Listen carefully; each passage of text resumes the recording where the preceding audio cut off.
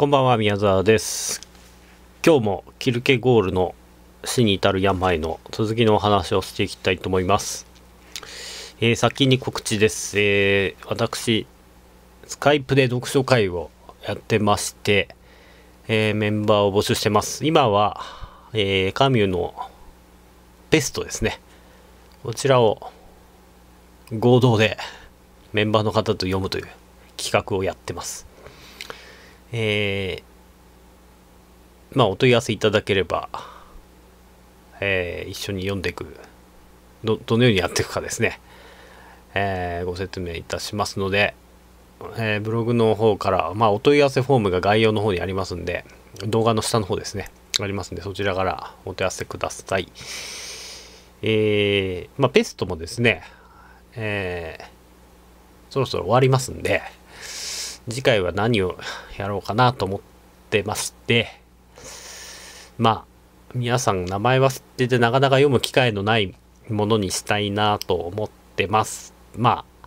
あメンバーの方とも話し合って決めたいと思うんですけれども僕も久々に「罪と罰」ですね。ドストエフスキー読み直してみたいなっていう気もあるんで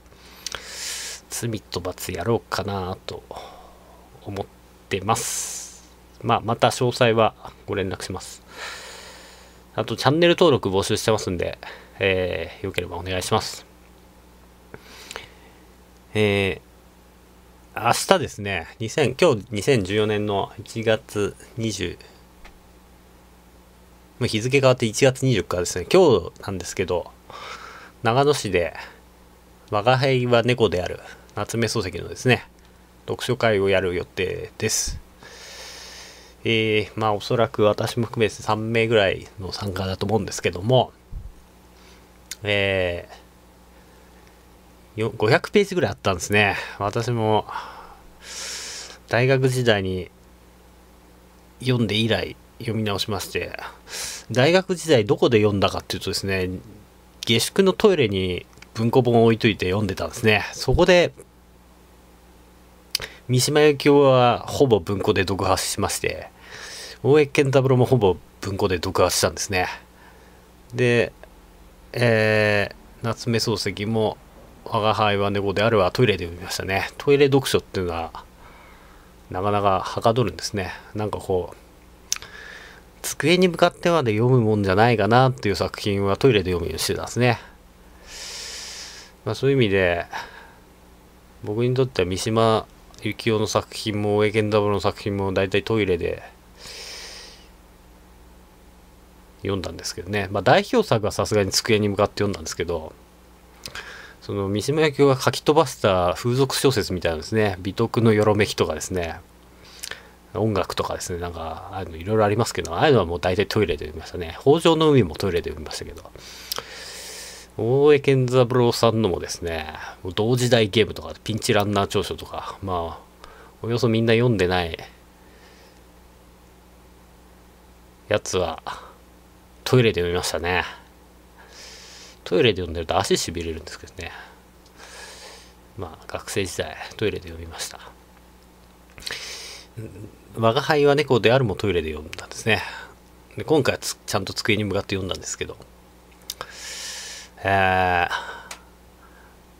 読んでみてですね3日ぐらいで頑張って読んだんですけど、もうちょっと目が痛くなって途中から。えー、あらすじも大してない話なんですね。ところどころすごい面白くて爆笑はしたんですけど、えー漱石ってユーモアセンスあんだと思いました思いました。だけど「我が輩は猫である」で読書会やって成立すんのかっていうのはすごい心配になってきていつもだったらレジュメを作るんですけどレジュメに書くこともないですね。あんまり筋がないんですよ。えーまあくしゃみ先生っていう漱石みたいな人が出てきてそこの家の猫名前はないんですね。我が輩は猫である名はまだないってなってますけど。1行目ですね。えー小説の冒頭ですけど。猫がストーリーテラーですね。猫がずっと、えー物語の展開ストーリーテラーとして活躍すると。でまあそのくしゃみ先生とその仲間たちみたいな人たちの会話がずっと続いていくんですね。で一応恋愛もあるんですね。近所に金田富子ってお嬢さんが住んでてその人がくしゃみ先生の教え子である水島寛月君っていうのはことを好きらしいんですよ。でその恋愛みたいな話がずっと書いてあ書いてあるんですよ。書いたんですけどそれはどうでもよくてなんかあとは無駄話みたいなのずっと延々と続いてですね。えー、そういう小説なんですけども。まあ。まあ、どうなることか。あまあ一応録音してくるんでまたお楽しみいただければと思います。まあただ雑談になって終わるような気がしますけどね。最近やってたかっちりした読書会じゃないと思いますけどね。ただ雑談漫談みたいなのがダラダラ続いて終わるみたいな感じになると思いますけど、えー、いつも来てくださるご年配の方がいらっしゃっていただけると思うんで、えーその方の形骸に接してですね、私も背筋を伸ばして、えー、行儀よく読書会やっていきたいと思います。えー、今日は続きですね、えー、58ページですね、えー、読んでいきます。さて、事故に欠けているものは言うまでもなく現実性である。しかし、あそれでまた一般に人々はある人は非現実的になったというようなことを言う。しかしさらに詳しく調べてみると、え、事故に欠けているものは本当は必然性である。すなわち哲学者たちが説明しているように、必然性が可能性と現実性の統一であるというようなものではない。いな、現実性が可能性と必然性との統一なのである。えー、これ今までも何度も説明しているように、人間というのは可能性と必然性のが統合されたものが事故であると。えー、可能性っていうのは写真で見る自分ですね写真まあ他人の眼差しから見られた自分。必然性っていうのは、えー、鏡で見た自分ですね。えー、ということになるんですけどもこの説明がこの後に鏡の比喩で説明されてきます。まあ、無限性と有限性の統合でもあるんですけどね。無限性と有限性可能性と必然性の統合が自己であると、えー、人に見られてる自分と自分で思ってる自分が統合されてる。これで事故になるんですね。どっちかバランスが悪いと、えー、痛い人になっちゃうんですね。痛いんですよ、えー、完全にあっちの世界に行っちゃってる人は無限性の方行っちゃってる人ですね。えーディズニーランドに住んでる人って話したら本当にいるんですかっていうメールでいただいたんですけどこれはあのいないんですけど 僕が考えてもし、えー、ディズニーシーディズニーシーにホテルあるんですかね。僕行ったことないから知らないんですけどなんなんとかコスタだかああいうところにもし一人で1年ぐらい泊まってる人がいたら頭おかしいと思うんですね。ホテルです、ホテルで暮らしてる人っているんですよ。あの、映画評論家だって淀川長春さんって帝国ホテルに住んでたんですよ。だから、家がないんですね。ホテル、ホテル住まいの人っているんですね。いると思うんですよ、結構多分。東京にホテルで暮らしてる人。自宅は、自宅はあるんだかわかんないですけど、ホテルが自宅みたいになってると。で、淀川南原さんって帝国ホテルに住んでたっていうんですね。だからディズニーランドのその、オリエンタルランドの経営してるホテルに住んでる人も多分いると思いますけどね。何人か。まあそんなプライベートの話なんで何人住んでようがいいんですけど。その人たちが毎日ディズニーランドに行ってたらすごいですけどね。まあ、何ていうんですかね、可能性、無限性の方に行っちゃってるとそうなっちゃうんですね。えー、ということです。で、よくアメリカのアメリカの作家とかホテルに暮らしてるとかいますけどね缶詰って言葉なんですけどね作家で缶詰って缶っていうのは缶ってあの缶詰ってあの羽衣フーズの缶詰とかじゃなくてですねその缶っていうのはその旅旅館の缶ですね。えー、屋形詰めっていうのは缶詰ってですね。そこでその出版社の取った部屋に監禁されて原稿を書かされるっていうことですね。人気作家とか。そういう人がえー、まあいるんですね。そのうちそのホテルにホテルに住んだ方が仕事がはかどるって言ってホテルに住んでる人言いますけどね。結構いるみたいですね。まあそのルームサービスとかあるんで自分で掃除とかもしなくていいですしね。暮らしやすいらしいですけどね。えー、ということでした。でえー事故に欠けてるのは現実性だと。現実性っていうのは可能性と必然性の統一なんだって言ってるんですね。現実にこの世にいるってことは可能性と必然性が統一されてることだ。要するにその動画や写真や他人の眼差しから見られてる自分と、えー、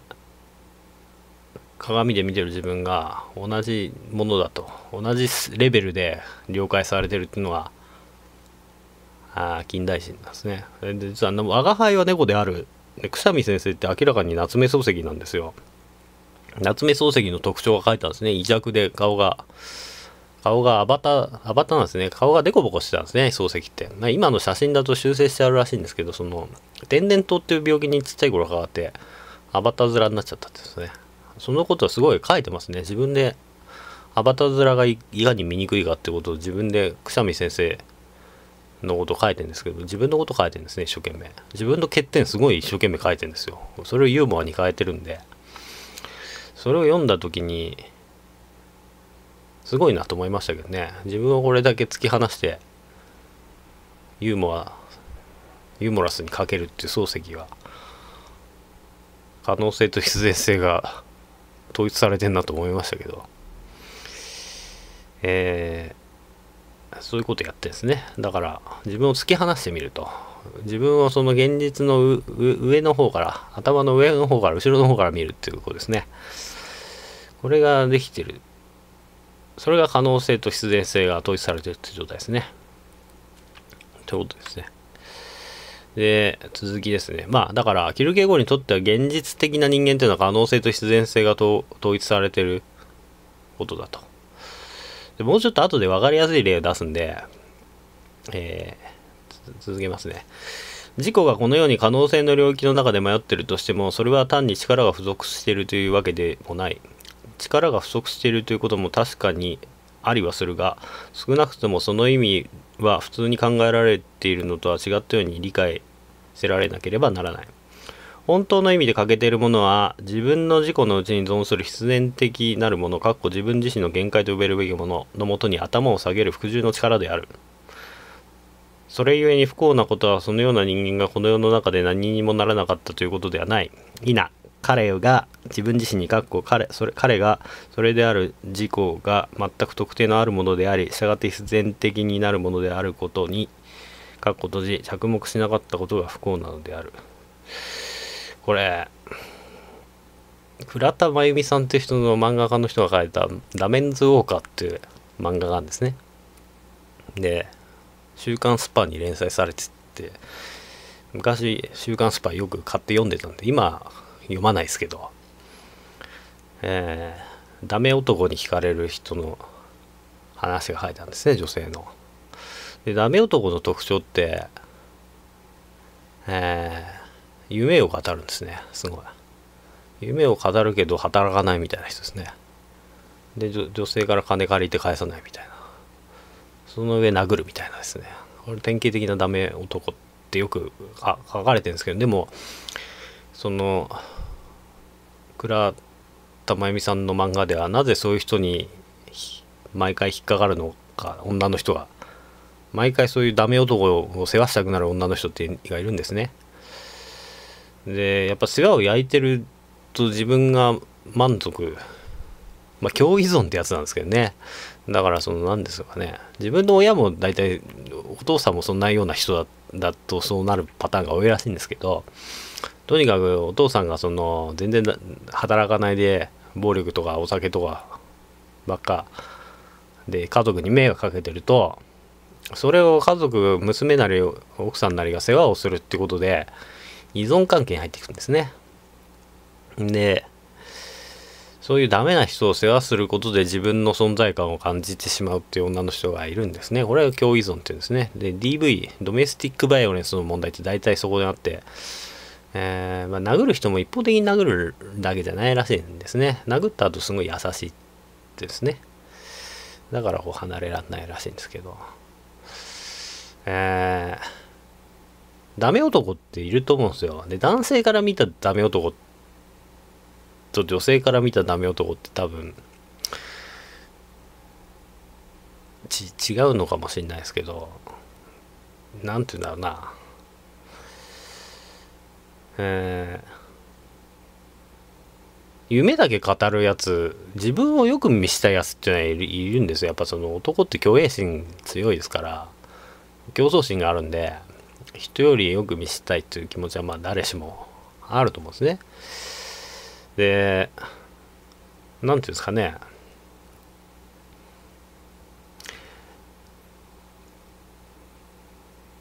まあ男性っていろいろコンプレックスあるんで大体。でそのコンプレックスを隠すために自分のいいとこだけ見せようとするんですね。そういうところはあるんですよ。で、男同士で見てるとこいつ強がってんなっていうのは大体うっすらわかるんですけど、まあ、実害がないんで、まあこいつはふかしてんなとか思うんですけど、まあ実害がない限りはほったらかしとくんですよ。で、女性の場合多分それ結構信じちゃうんだか人がいいんだかなんだか知らないけどえ、そういう男の強がりみたいなのもまあ見抜いてはいるんでしょうけどね。まあ何も言わない静かな人よりはちょっと虚栄心の強い人の方がアピールするとこがあるんで。えー、とっつきやすいとは思いますよ。接点を持ちやすいですね。だからまあ、いい加減な人ほどモテると思いますけど、いい加減でその夢ばっか語ってる、自分をよく見せたい、口から出まかせみたいな人の方が、まあ、なんとなくいて、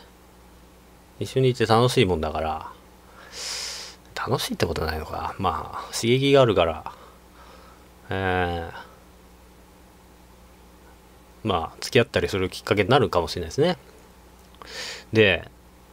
こういう人ってまあ現実性がないんですよ。要するに自分の必然性が見えてない可能性ばっか。俺はミュージシャンになるとかですね。俺は俳優になるとか。まあ若いうちで言えばそうかもしれないですけど、まあ、夢を語ると。で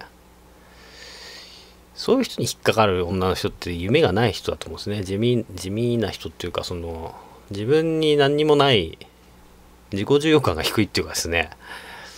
なんか誰かを応援することは自分自身になることであるみたいな人ですね。何ていうんですかね。必然性の中にしか生きてない人ですね。可能性が全くない人。が可能性ばっかりで必然性のない男とこうマッチングしちゃうんですね。ぴったり合っちゃうんですよ。えー、そうすると一つの現実が生まれるんですね。不幸な共依存っていう。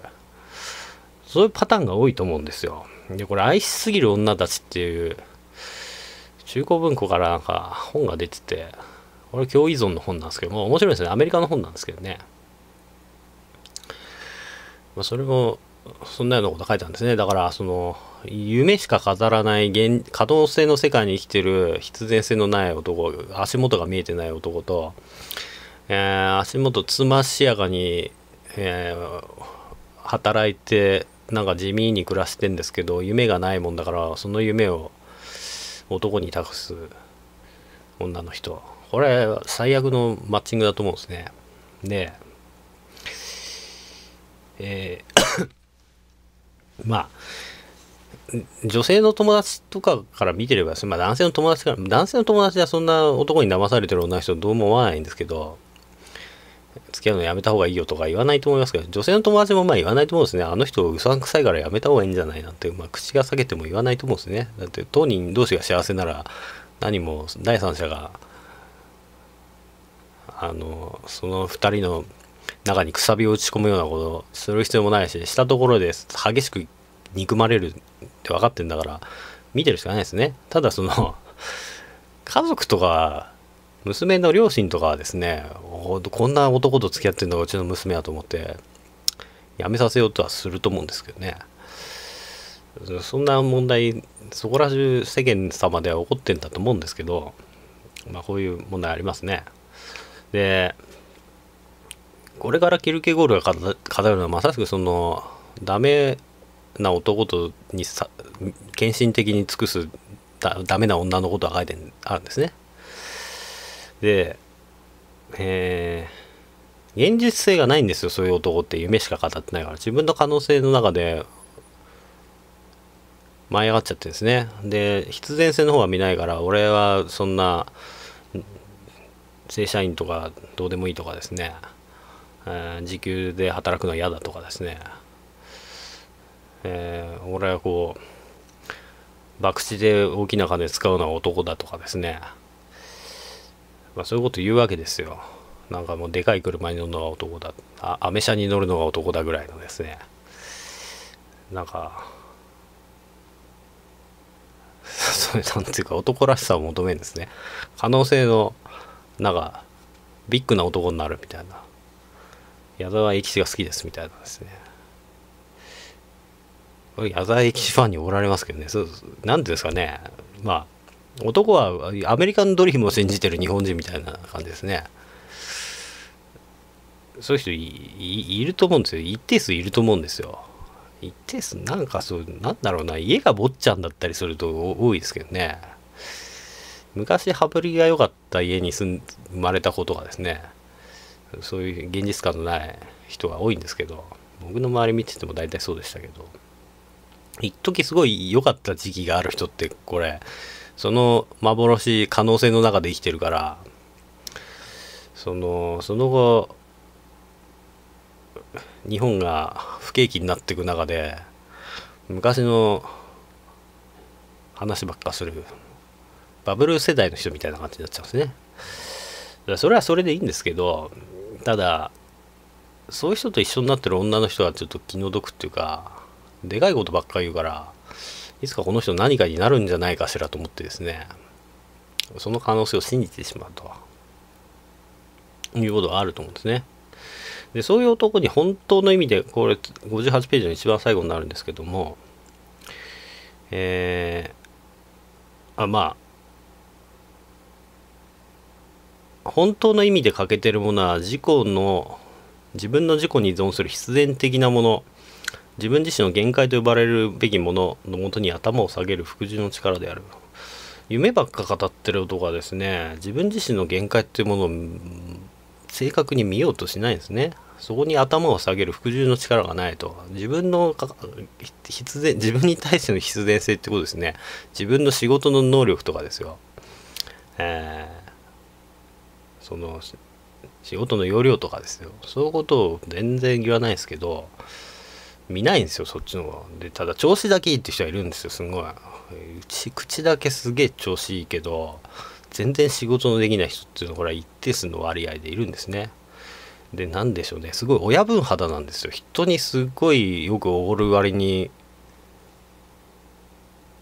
借金まみれみたいな人いるんですね。でまあまだ親がですよ。お金があるうちは親が親の特性例が出てなんか2300万の借金を親に払ってもらって帳消しにしてもらうっていう人がこれ実際結構いるんですねこれ。これ何ですかね多分おそらく別にそんなに大企業に勤めてようが中小企業に勤めてようが一緒だと思いますよ。一定数いると思いますよ自分の身の程を知らないっていうかですね現実に生きる力が自分自身の限界って言われるべきものを見てない人ですね。まだ日本が右肩上がりにの国だと思ってしまってる人ですね。まだバブルが来ると思ってる人ですね。まあまあアベノミクスっていうのは、まあ、まだバブルがバブルの幻だけ見てる成り立ってる経済だと思いますけど僕は。でその人たち本当の意味で欠けてるものは自分自身に存する必然的なものに頭を下げる能力がないっていうんですね。服従する力がないと。だからすごい自分のいいとこだけ見してバンバン後輩におったりしてなんか飲み連れてってくれる割にはなんかその人といって大してメリットもないしもう壊れたレコードみたいに昔の話しかしないしみたいな。武勇伝しか語らないみたいなですね。そんな感じなんですね。流行りの歌も歌えないみたいですね。いまだに古い歌 T ボランとか歌っちゃうみたいですね。なんか時間の止まった人がいるんですよ。まあいいそれはいいんですけど止まっててもただその必然性を見てないとですねこれは付き合ってるその人と付き合ってる人は気の毒だなと思うしうんまあ見てても見ててもやっぱそういう人いなくなるんですよね。淘汰されていくんですよ。ななんか。どうやって淘汰されていくかっていうのもいろんなパターンがあるんですね。なんか会社の金使い込んじゃってとかですね。酔っ払って喧嘩するとかですね。喧嘩して 警察になるとかですね。あるんですね。これは。本当結構あるんですよ。でえー、続きですね。59ページ。それゆえ不幸なことはそのような人間がこの世の中で何にもならなかったということではない。いな。彼が自分自身に、えー、着目しなかったことが不幸なのであるって書いてありますけど不幸なことはそういう人が実際にそう羽振りのいい人が羽振りのいい職に就けなかったってことじゃないんですね。彼自身に着目しなかった自分自身に自覚がないんですね。まあその何ですかね70年代80年代のまだその高度経済成長がまだ続いてた頃はえー、なんですかねその下っ端の新卒のこと部長クラスの人の給料ってすごい何倍も違ったからいいんですけど今そういう時代じゃなくなってきちゃったんですね。対してその部長の給料も多くないって分かっちゃってるんで下っ端の人も。飲みに行っても割り勘みたいな。でそんな中でその親の世代が羽振りが良かったみたいなのを見てきて自分も坊ちゃんお嬢さんで過ごすと自分もまだ羽振りがいて錯覚があってその時の金銭感覚でお金使っちゃうんですね。で結局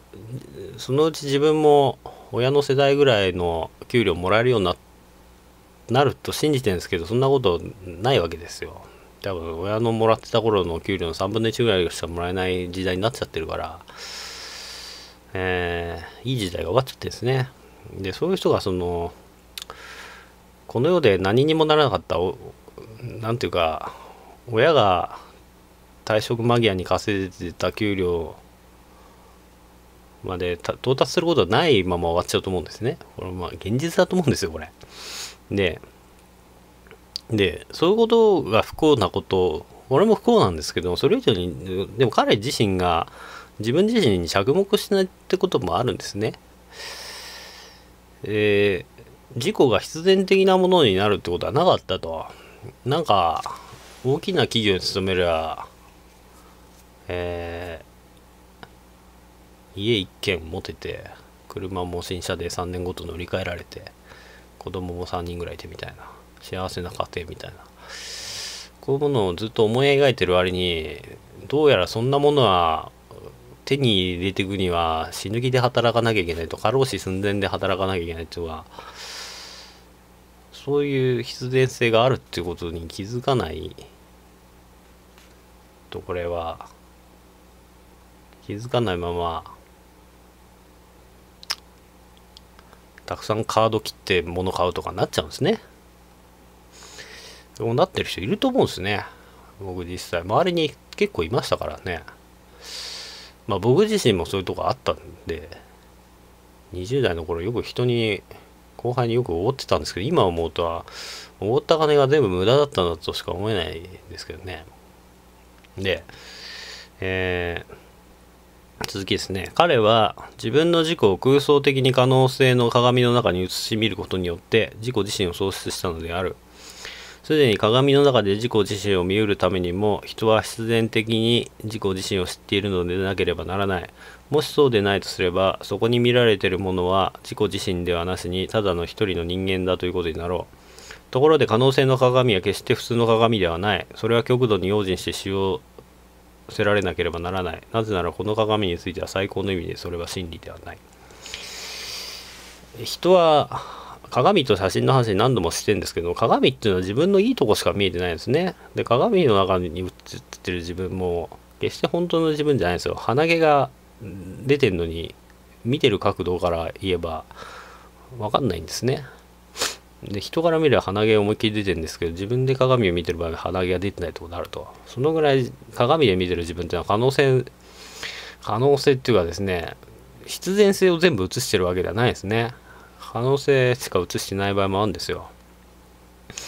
で、鏡の中で空想的に可能性ばっか映して自分自身を喪失してる人がいると。こういう人が、この、ダメな男っていうのはこういう人が多いですね。鏡、鏡しか見てない。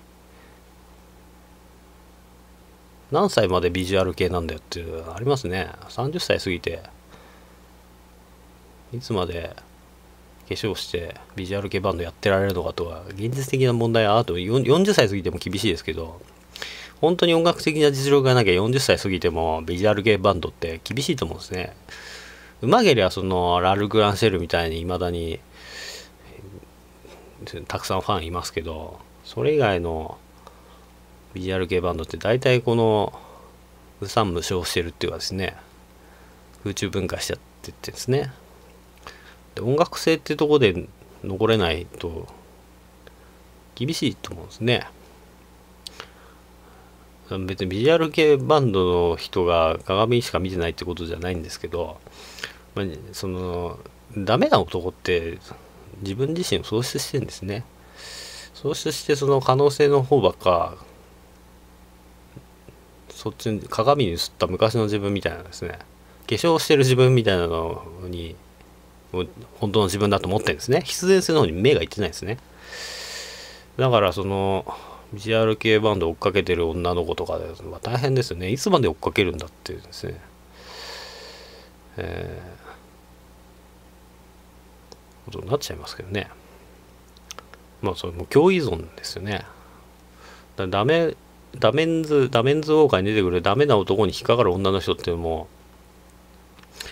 どこまでもその人の夢を一緒に追いかけるみたいなそういうことをやっちゃうんですね。で離れられなくなっていくと。離れられない上にたまに殴られたりしちゃうわけですね。ことになっちゃうんですね。お金貸して戻ってこなかったりですね。なっちゃうと。でえー、鏡の中で自己自身を見るためには人は必然的に自己自身を知ってるのでなければならないと。でそうでないとしたら鏡に映ってるのは自己自身じゃなくてただの一人の人間だと。いうことになっちゃうんですね。鏡に映ってるその等身大の自分ですね。日に日に老けていく自分っていうのをちゃんと、ま、目で焼き付けとかないと見るようにしないとただ一人の人間別人が 俺じゃないものが映ってるみたいになっちゃうんですね。で頭の中だけではいつかビッグになるとかですね。いつか武道館いっぱいにするとかですね。思ってんですけど。そうその現実の彼その周りの一生懸命応援してる女性彼女とか大変ですね。今日「ミュージックステーション」見たんですね。スペシャルでやってたスペシャルじゃないな今日は。あのえっとアジアカップやっててちょっと放送時間遅かったんですね。で見て見見たら凛としてしぐれっていうバンドが出てたんですよ。で実はこのバンド僕見に行ったことはあってですね。僕が昔大宮市に住んでた頃ですね家の前がライブハウスだったんですね大宮ハウスってそこでよく僕のバイト仲間の人がバンドやっててよく聞きに行ったんですよ。そこで同じ頃やってた人だったんですよその凛としてしぐれっていうのは。でレコ発だなんだって言って一緒になんか対バンとかしててでその人たちようやく「ミュージックステーション」に出てたんですね。あすげえなと思って。で僕の友達とかも連絡取ってないから音楽活動してるかどうか分かんないですけどもう30半ばぐらいになっちゃってですねみんな。でもその人凛としてしぐれの人たちがずっとその活動を続けてなんとかミュージックステーションまで出てたんですけどその周りにいたたくさんのバンド仲間がいたんですけど果たしてそのうちの何人ぐらいが今も活動してんだろうと思ってですね。えー、なんかこの人たちはよく頑張ったなと思いましたね。でも実際若い僕の友達がやってたまあバンドはですねそのバンドメンバーの彼女しか見に来ないんですよやっぱり。でバイト仲間がちらほら行って僕はもう毎回律儀に行ってたんですけど見てたんですね。でよく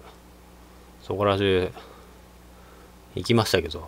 彼らの客チケット売れないもんだから気の毒だから買ってあげて行ってたんですね。新宿やら柏やら熊谷やらなんかそこら中行く時にチケット買ってですね電車乗って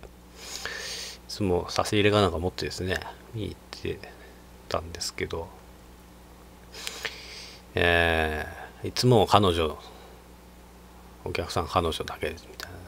妻の会みたいなのができできちゃってバンド仲間の妻の会。バンバンドメンバーとバンドの彼女たちが一緒に活動してるみたいな。バンドで演奏してて彼女たちが客席にいるって。5人ぐらいしかいない。あと対バンの人しかいないみたいな。いつ行ってもそんな状況だったんですよ。であの状態がでも30過ぎてまで続くとこの彼女さんたちも大変だなと思ってですね、えー、みんなアルバイトしてるわけですよ。みんなフリーターで。で彼女たちはちゃんと手に職 手に職持ってっていうかなんか OL とかやっててですね、えー、一生懸命支えてる姿を見て。これどこどこで終わるんだろうと思ってですね。ちょっと思いましたね。報われる時が来るのかなと思ってこの女の人たちはって思って。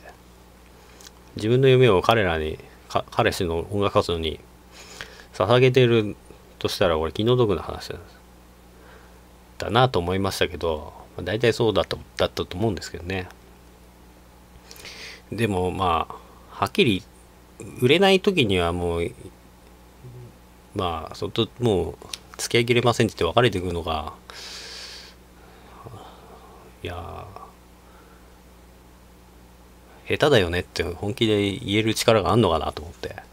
歌下手だよねって自分の彼氏がボーカルやってて歌下手だよねってはっきり言える彼女なんだけど辛いなと思いますね。それじゃ売れないよって言ってあげないと。ただ聞きに行っててよかったねみたいなこと言って。今日お客さんいなかったけどよかったねみたいなの終わっていいのかなと思って。見てて思いましたけどね全然伝わってこないよとかねあの全然声聞こえないよとかって全然演奏合ってないよとかはっきり言ってあげられる人がいいパートナーだと思いますけどね。人なんか一生懸命応援してるまあ若いから応援してるだけでいいのかもしれないですけどあれでも本当30代過ぎてずっと応援してたら大変だと思うんですね。まあ、どうでもいいんですけどね。でもそのなんか男の人にいやもう向いてないんじゃないの？とか言ってあげた方がいいと思うんですけどね。でじゃないとその男性の方はずっと可能性の鏡だけ見てますからね。でその可能性の鏡は、まあ、キルケゴールの言う通りですね。ところで可能性の鏡は決して普通の鏡ではないと。それは極度に用心して使用せねばならない。なぜならこの鏡については最高の意味でそれは真理でないって書いてありますよ。だから、客観的な写真や動画を見せる形で、いや、これいいと思う。下手じゃないの。だってお客さんこれ聞いていいと思うって。CD 買いたくなると思うって。誰が乗って聞いてんのって言って、言ってあげることは必要じゃないかなと思いましたけどね。でもこれダメ男に惹かれる女の人ってそういうこと言えないんですよねそういうことなこと言ったら殴られるっていうのもある喧嘩喧嘩になるっていうのももちろんありますけど何ていうか自分の夢ももう託しちゃってるから客観的に見てどうだって話一心同体ですからね。共依存の状態なんで。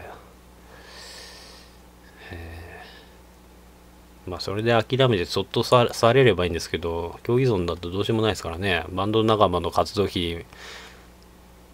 支援してお金巻き上げられて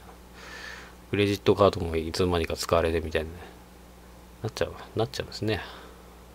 そういうバンド多いと思うんですけどね、うん、まあでも凛としてしぐれっていうバンドは売れてテレビに出れてよかったなと思いましたけどね。まあ30過ぎてまでやって活動するの大変だなと思って見てましたけど。まあどうでもいい思い出話ですけども、えー、続きですね。えー、自己が自己自身の可能性の中でこれこれのように見えるということは単に半ば真理であるに過ぎない。自己自身の可能性において自己はなお自己自身から遠く隔たっているのでありないしはまた単に半ば自己自身であるに過ぎないのだから。そこで問題はこの自己の必然性がこの自己にさらに正確にどのように規定するかにかかっている。可能性というのは子供が何かの遊戯に加わるように誘われている場合に似ている。子供はいつだって加わりたがっている。ところで問題は両親がそれを許すかどうかである。この両親がちょうど必然性に当たるのである。えー、ここいいこと言ってますけどね。えー、可能性の中でこれこれ見えるっていうのは半ば真理であるに過ぎないと。俺たち音楽で売れるからって。武道館いっぱいにするからとかって、えー、メジャーデビューは嫌だけどあのメジャーデビューしてくれたらしてくれって大手事務所に言われたら渋々メジャーデビューするみたいなよくわかんないこと言ってる人 たまにいるんですけどね、えー、声もかかんないのに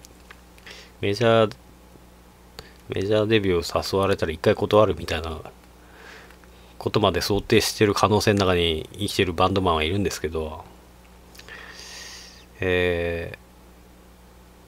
ー、まあこれはもう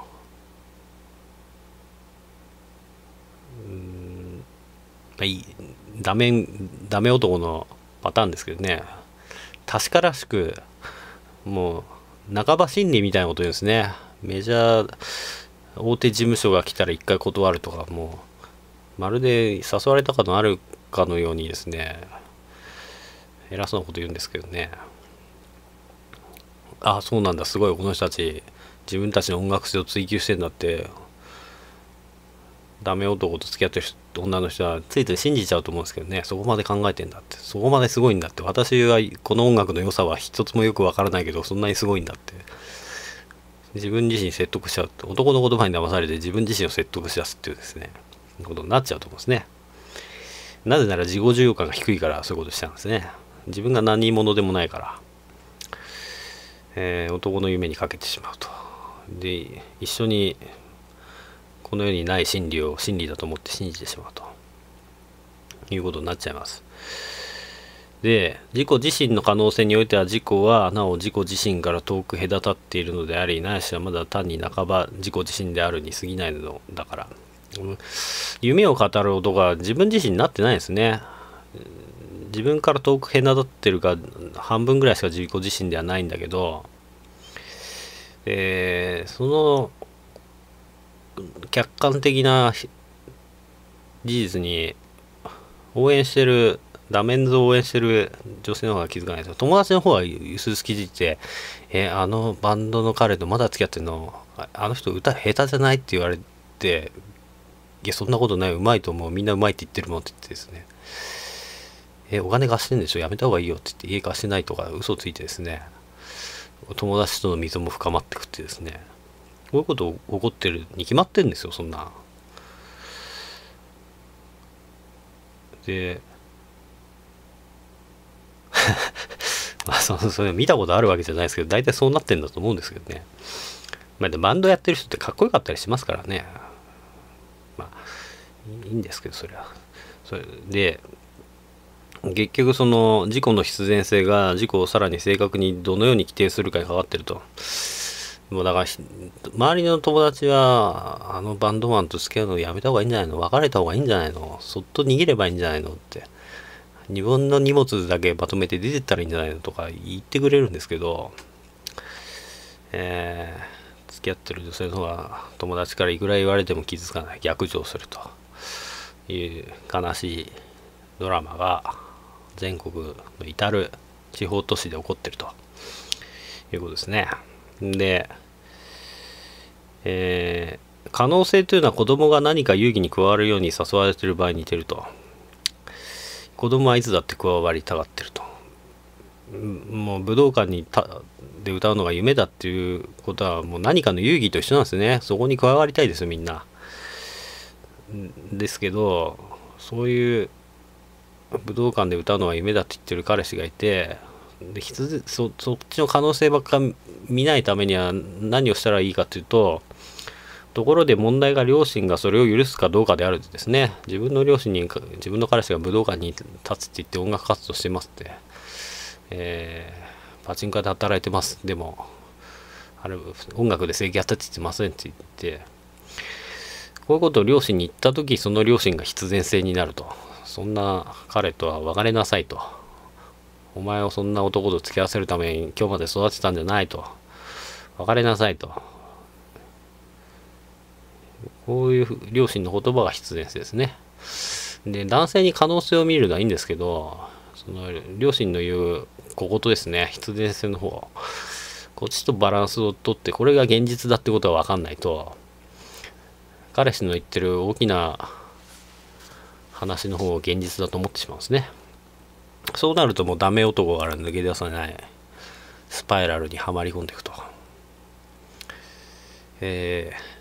いうことですね。で、両親からも友達からも愛想をつかされて、えー、しまうということですね。で、まあ、ダメ男の話してたんですけど、ダメ男って必然的に自分のダメなとこダメ出しされるとシュンとしちゃうんですねなんか顔のパーツが顔なんか真ん中に集まって急にシュンとしてまあ逆上するかシュンとするか聞こえないふりするか。だからそういうことを言ってみてですね自分の顔を鏡で見てみたらって言って自分の限界とかちゃんと分かってから活動しないよとかですね。そういう言いたいことバンバン言ってみた方がいいと思うんですけどねそういうことで。それでああそっかお前だけで言ってくれるのは。って言って素直に聞く人だったらまだいいですけどね。聞く耳持たなくて逆上するとかえー、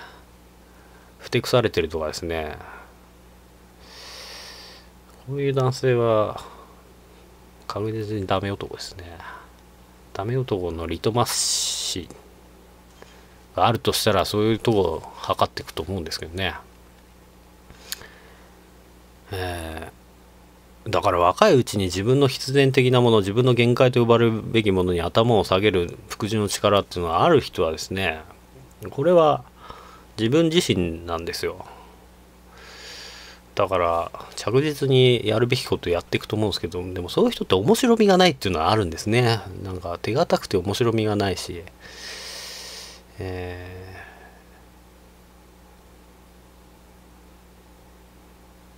ー、なんかあの人つまんない人って思っちゃうんですけどね。難しいですね。まあ僕はダメ男ですからね。逆上しますけどね。ということでした。最後まで聞いてくれてありがとうございました。以上です。